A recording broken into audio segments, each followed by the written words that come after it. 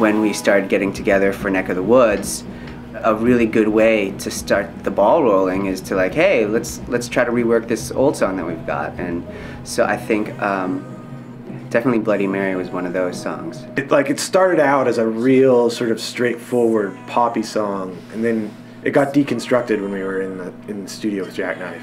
You practically wouldn't be able to recognize it uh, during the Swoon days. That song directly resulted from a, a conversation about exchanging childhoods, and everybody has their own traumas and things like that. I mean, when you say trauma, something that people kind of go right to the darkest one.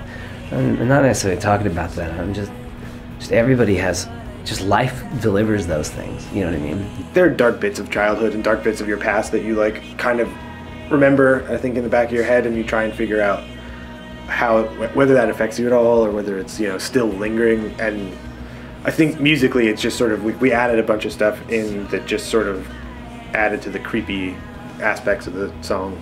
It's more sinister than it used to be. And I remember talking to someone whose childhood blew me away, how poor it was, you know, especially for such a well-adjusted, amazing person. And I wrote Bloody Mary about just wanting to go back there and fix it, but you can't.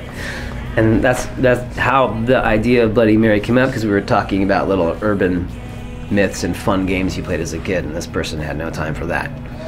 And so that's how that song came about.